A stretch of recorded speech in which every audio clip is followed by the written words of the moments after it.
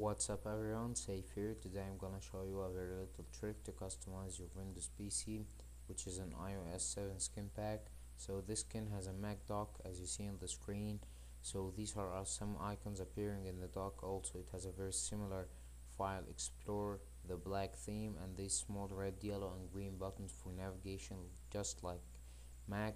All you have to do is go to the link in the description and download this pack which is an exe file simply install it like any other software but it might take a while maybe five or more minutes and will require a reboot obviously.